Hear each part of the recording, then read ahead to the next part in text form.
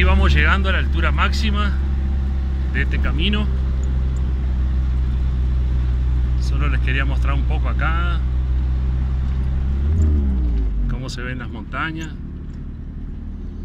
para que tengan una idea. Más o menos. Allá abajo hay un pueblito San Mateo Milpas Altas. Acá hay unas casas esta casa por estar tan alto se llama Las Nubes.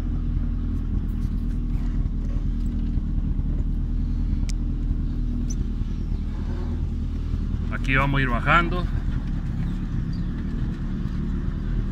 Ahora empezamos a bajar.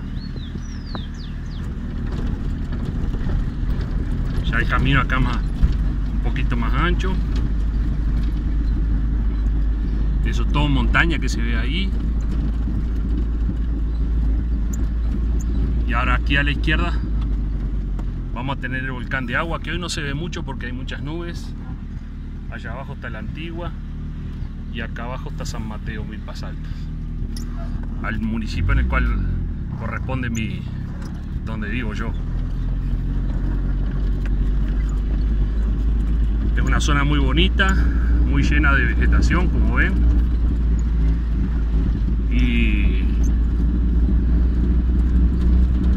y nada hay que acostumbrarse a vivir en la altura no es para cualquiera ¿eh? acá se le saca el jugo a la gente andar caminando, subir, bajar, todo es extremo.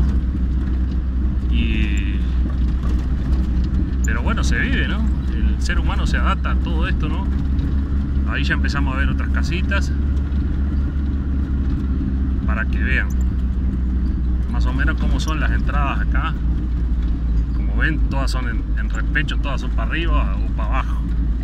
La casa de nosotros es un poquito hacia abajo. Si, si está a la izquierda si está a la derecha, es para arriba, ¿no? Si está para arriba, es para el otro lado. Acá está casa como la mía, la mía está a la izquierda.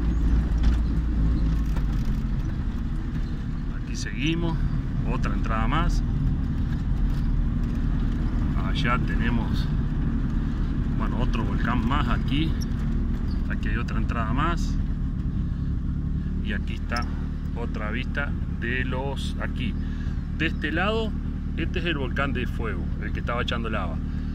Y este es el volcán de agua. No se ven los picos por la altura, ¿no?